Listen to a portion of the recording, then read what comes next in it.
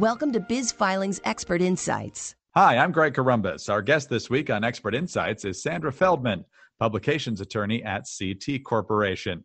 Today's topic is a very timely one. We're going to be looking at what a small business can do from a business entity compliance perspective to prepare for and hopefully survive an emergency event like COVID 19 or some other uh, emergency that forces the business to close for a period of time. And Sandra, thanks very much for being with us again. No, thank you, Greg. Today, I wanted to talk about some of the things small business owners can do before a crisis event hits that forces them to close up the business for a while, and some of the things they need to remember to do while they're temporarily closed. Obviously, we're talking about that today because of COVID 19, but I'm not focusing solely on COVID 19. For one thing, it's too late to prepare for it, it's here. So I'm also including other challenging events we're likely to see, whether it be a hurricane, a tornado, a wildfire. That, like a pandemic, affects a lot of businesses or something bad that happens to just one particular business. Right now, there's a lot of good advice out there for small business owners from experts in many different fields like legal advice, financial advice, healthcare advice, so I'm going to stick to my area of expertise, which is statutory business entities, and in particular LLCs and corporations. And to be even more specific, it's in the compliance obligations they have throughout their life cycle, from formation to dissolution, including the obligations that continue even if the business itself is temporarily closed. Well, Sandra, you mentioned there's a lot of expert advice out there. You are one of our valued experts. So, what advice would you give a small business owner that would help them in case their business is closed uh, because of COVID 19? Or, like you mentioned, it could be a myriad of other things. Well, if I was talking to someone who was planning on starting a new business, and hopefully when COVID 19 is over, we'll be seeing a lot of new businesses starting, I'd probably suggest that they seriously consider forming an LLC or a corporation to own the business rather than owning it themselves, or at least talk it over with their lawyers. Now, it will be more expensive, but there are advantages, and particularly in times of trouble. Let's say the business has to close for a while because of one of these crisis events, and it can't complete a contract. If you own the business yourself, it's your contract and you can be held liable. But if, say, an LLC owns the business, the LLC is responsible for its own contracts. The owners of the LLC are not.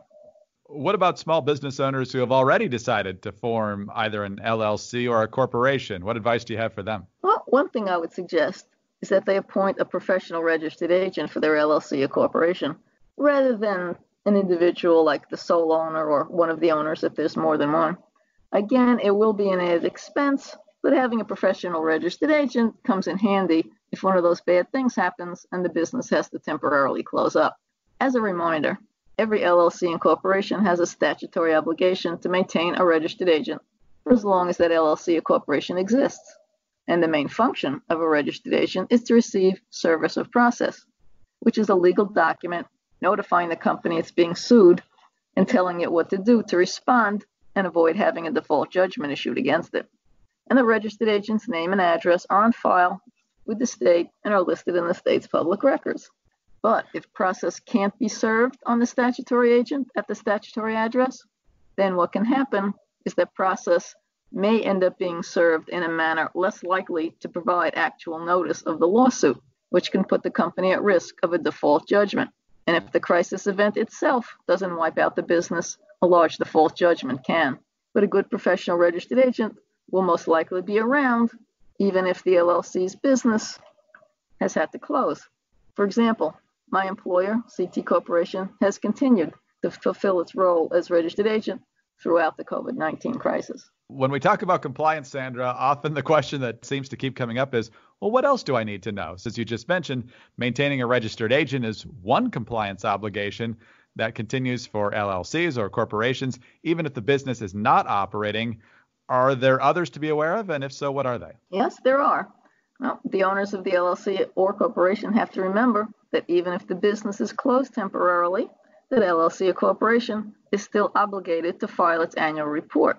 Even in the midst of the COVID 19 crisis, most states are requiring the annual report to be filed.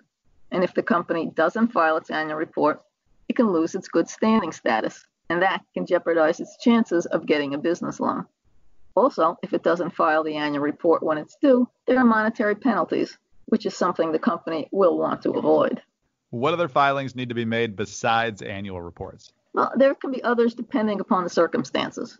For example, sometimes a natural or unnatural disaster can force a business to relocate. So I would remind small business owners that if their place of business moves, they need to update the state and local records where the old address is listed.